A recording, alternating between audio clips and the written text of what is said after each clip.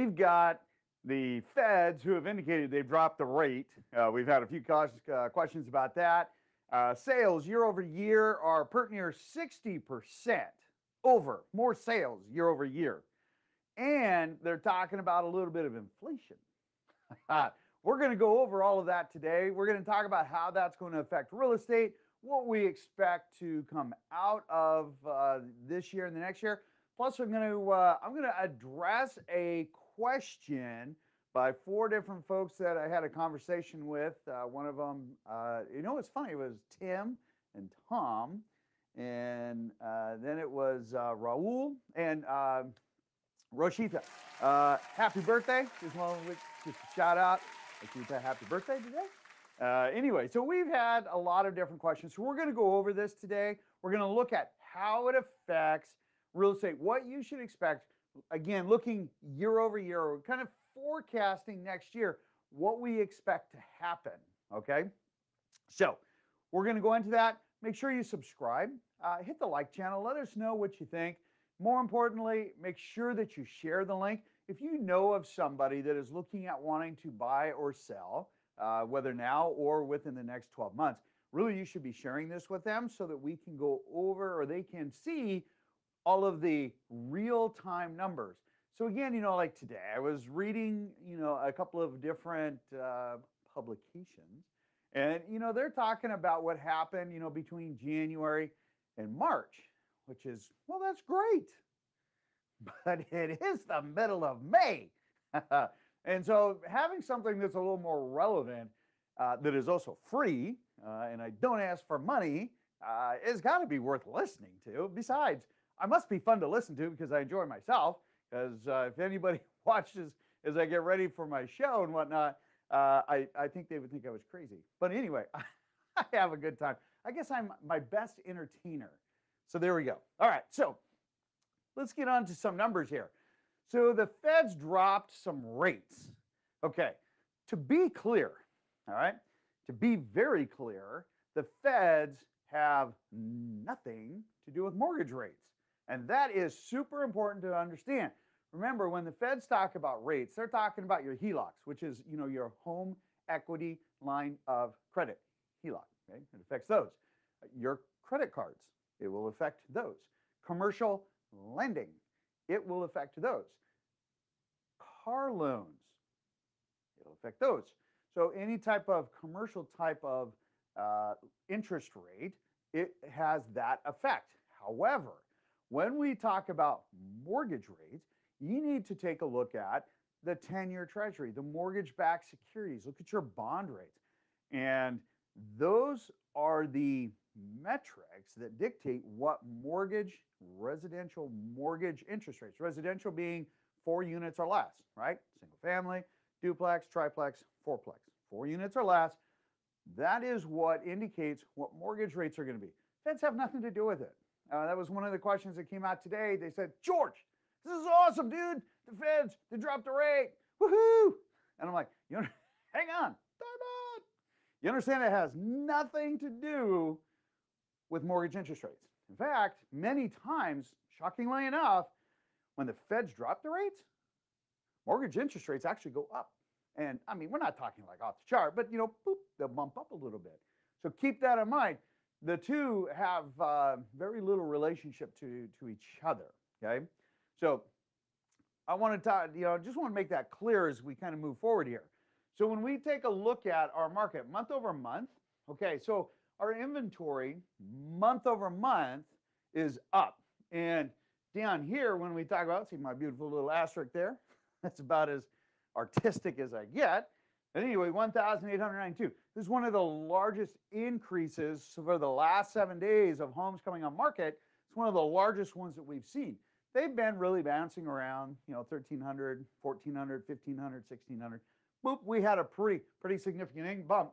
And that's why we're seeing 47.4. Uh, new on market, month over month, is 18.5% uh, over what it was in April. Well, okay, it's a spring market that's a given. I would totally expect that. The buyers out there in the world are going, finally.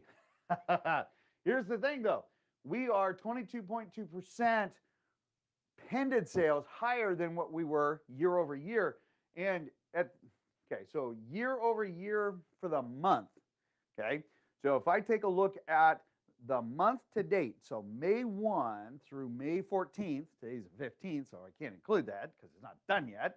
So May 1 to May 14th of 2020 versus May 1 to May 14th in 2021, we are up on our pended 34.8% and basically 60%, 59.2% more than we were the same time period a year ago.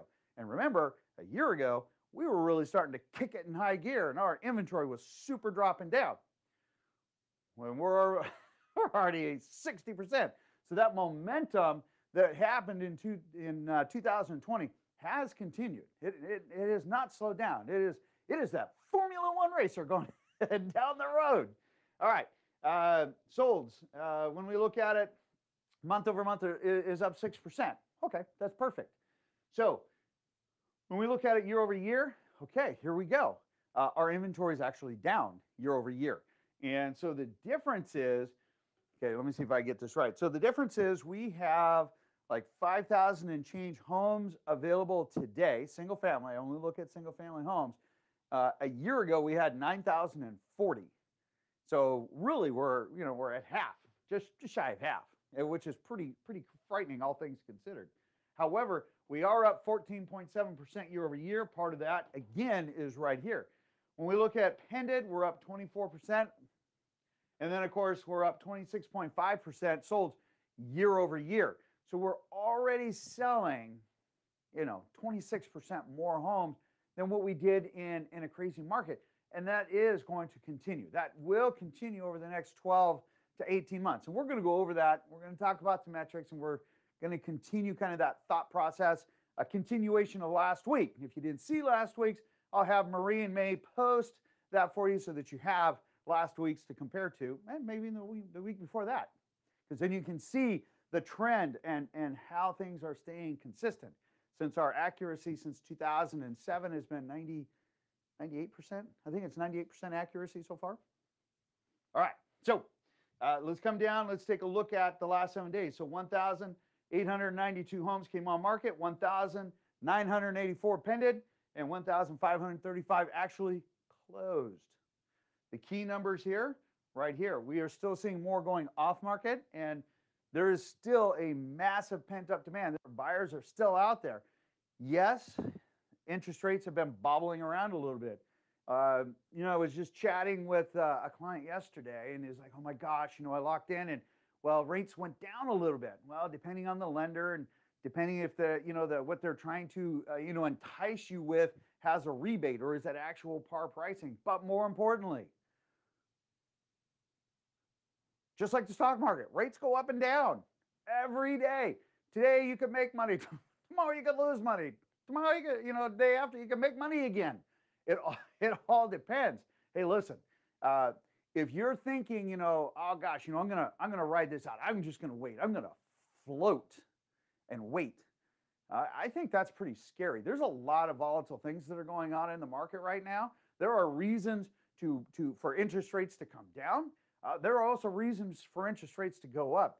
And you know, you can you can see, you know, quarter point, half point swings in one day. You know, there was one point where and there was a video. Uh, in fact, I'll, I'll see if Marie can find that video where we saw, you know, a point, point and a half swing in one day. It was up, it was down, it was up, it was down. It was crazy. No, I don't expect to see that again. Uh, I hope ever. Uh, that was the wildest week uh, I think uh, any lender has ever experienced. It was the craziest in my more than 27 years of practice. Uh, I remember Linda Bagley, one of the uh, greatest, Uh, she's an awesome agent, uh, very dear friend of mine. She does a lot of uh, liveaboard boats and whatnot. So if you're looking for a liveaboard boat, want to live out on Lake Union, really want true waterfront property, you need to give Linda Bagley a call. Anyway, when we talk about craziness of interest rates, look, they change every single day, uh, morning, afternoon. That's why if you get a price quote, you need to make sure that it's at the, the same time and you need to make sure that there's no rebates, that you're getting par pricing, because you know, like like uh, the advertisement I got today. Hey, they're like, hey, you know, we can offer you a rate 30-year fixed at 2.6. Okay, well that was like a couple of months ago, and then you take a look at it and say, oh, that's going to cost you a point to get down there. Okay. Uh, when you translate that out, you know, that's, you know, five, ten, eighteen thousand dollars. It's based on loan balance. Okay. Uh, that's a that that ends up being a big dollar, and that can be three, four years before you get that paid back. You know, the cost that that cost to buy down the rate to get that better rate. Okay, that could be three to four years, and, uh, and depending if you're going to be in the home that long, just all depends, right? Because today's dollar has more value than tomorrow's dollar which is part of inflation. We're going to go over that in a little bit. All right, so when we take a look at financing, since we kind of headed off into that, par pricing today is 3.125. Okay. However, if you're going to stay in your home for less than eight years, especially if you're going to stay in there for less than seven, six, five, four years, you should do a 7 1 arm. That par pricing is 2.25. That's a big deal. Okay. If you're not going to be there that long, well, don't pay 30 year money. Okay. That doesn't mean that, oh my gosh, in seven years I have to pay off the balance. It just starts to adjust. It becomes an adjustable rate mortgage. That's what an ARM is, adjustable rate mortgage. All right. Yes, there are caps to those, both annually and lifetime. Non-owner occupied 3.875, or you can get 3.5 with one point. Okay. We've been doing a number of different investment properties for folks. Uh, actually, paying that point makes a lot of sense if you're going to keep the property for 10 years. Makes a lot of sense because I think the repayment on that was three and a half years. I'd have to double check, but I'm thinking it was close to that. So when we take a look at the numbers here, we take a look at what's going on in the market. April reporting numbers came out actually pretty good. And they've got, I mean, so there's pros and cons, okay? So let's be clear. So again, we just discussed that the feds have nothing to do with mortgage rates. But we also said that mortgage rates are, are like the stock market. And in fact, they are part of the stock market. Your bonds, your mortgage backed securities, your 10 year treasuries, okay?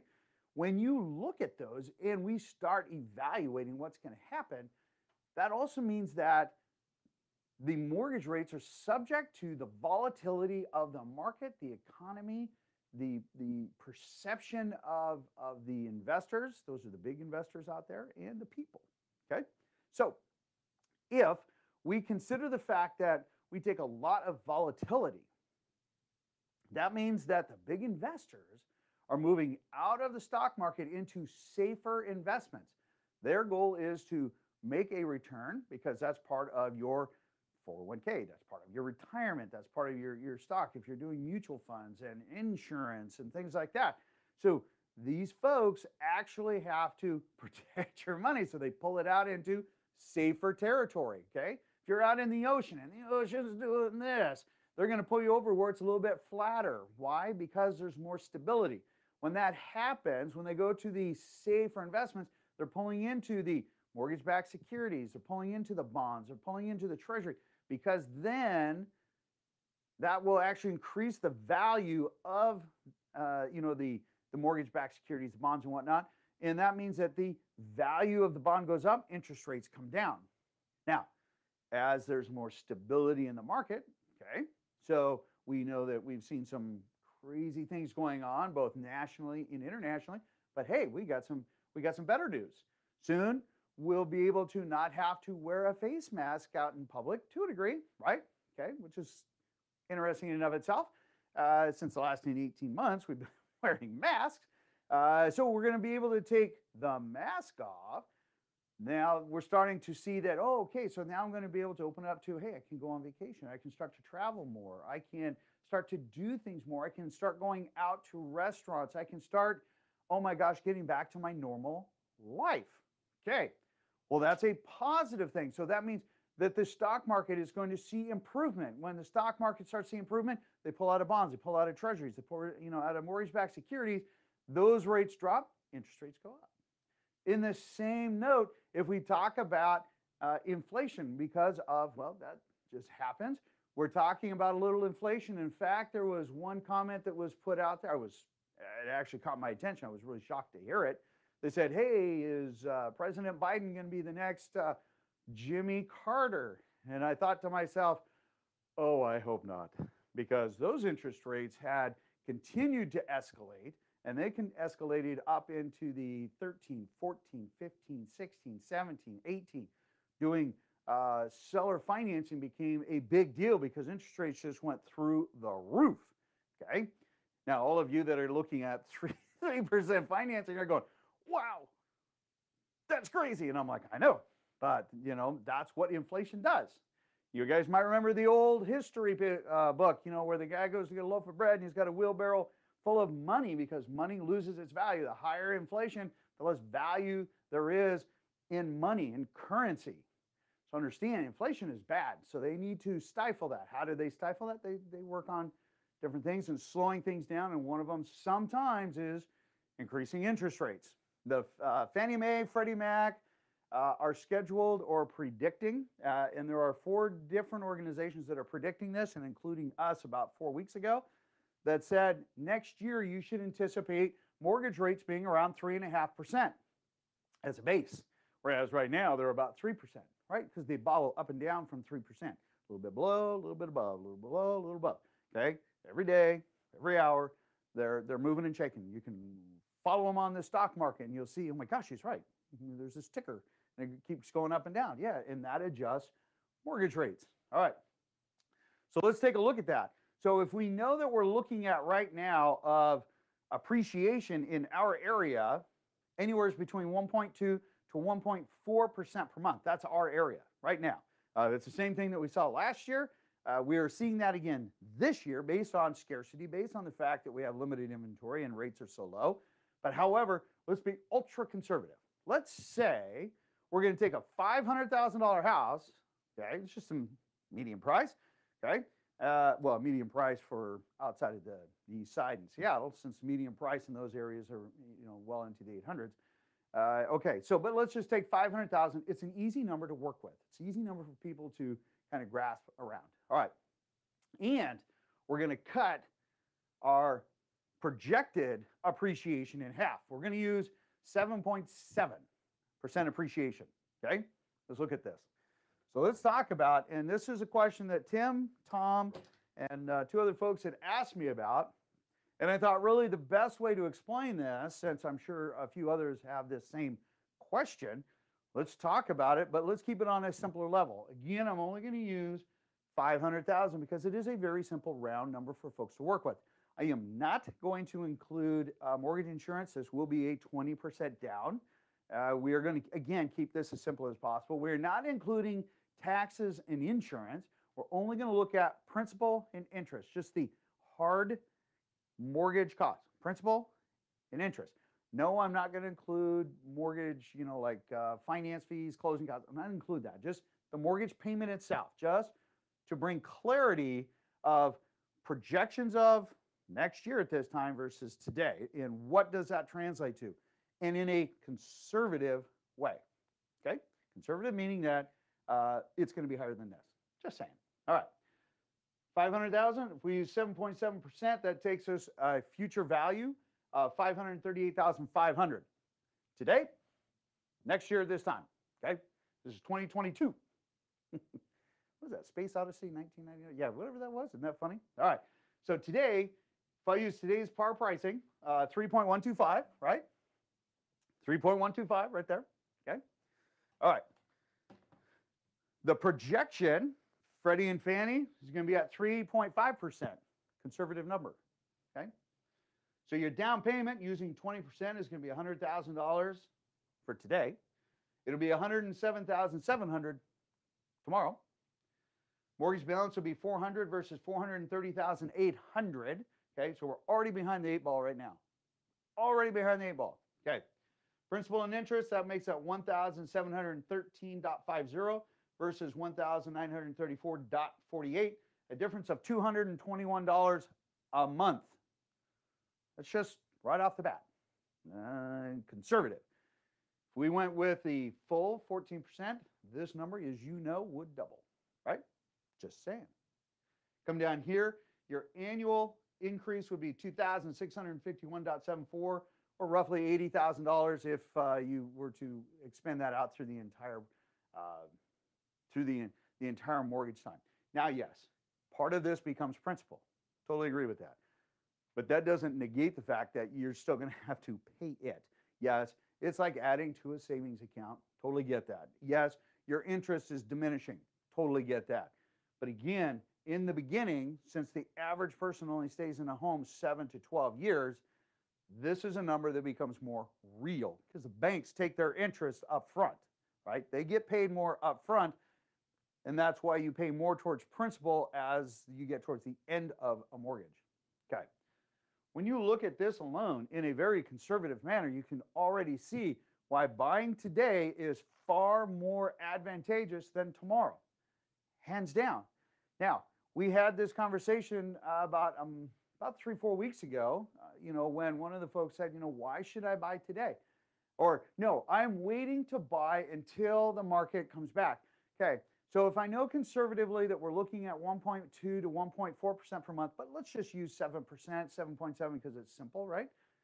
Okay, so if I know that I'm looking at 7% this year, okay, and we know it's more than that, and then let's say in 2022, because again, uh, you know, based on the metrics, based on everything we're seeing, we're going to continue this path based on the fact that as long as we maintain uh, mortgage rates, growing economy, and housing supply, because our equity is still there, because that's what's going to give power to the market, okay, and maintain the health of the of the housing industry. Okay, if I've got a then following year seven percent, okay, that means that I am taking my, there we go, 538,000. I need to add 7% to that, okay? Well, that's going to be roughly another $42,000, $40,000, just rough number. So let's call that's now going to be $580,000. So if I take that to $580,000, that's just two years. But let's say, let's say we see a 3% uh, reduction, which is a not uncommon uh, recession you know, adjustment, price adjustment. Okay, well, if you're at 580,000, you take, you know, 3% off of that, uh, you know, you're only talking about what, maybe $20,000? Okay, so now you're down to 560. You're still behind the eight ball. Buying today versus buying in a couple of years where there's the potential of a small recession that is going to be short lived. And actually, I don't even anticipate a recession. I anticipate our market starting to become more of a balance. And as we become more of a balance, meaning we, we have two weeks of inventory now, we go closer to the three, four, five months of, of inventory that is available for sale versus two weeks today, our appreciation will probably drop down to four to seven percent. I figure this is in 2023. We're going to start seeing that, but not necessarily a reduction because we're still seeing an appreciation. There are some folks are going to say, oh my gosh, this is horrible. Uh, no, we're getting more to a balanced market at that point. And when that happens, you know, we're still going to continue to see some good value, some appreciation, good house health. Just saying. So if you have any questions about this, call me, text me, post it up in the corner. Uh, we do answer questions typically within about 30 minutes If you have any questions about the metrics here, uh, feel free to give me a call. My folks at TrendGraphix, shout out to those guys again. Uh, we're in constant touch. These guys are awesome sauce, and uh, they really help us to be able to make this a very simple uh, pattern.